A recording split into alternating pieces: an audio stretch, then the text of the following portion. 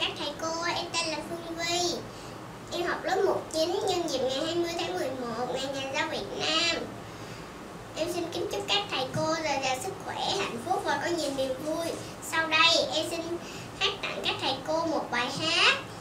Bài hát có tên là Thương lắm thầy cô ơi.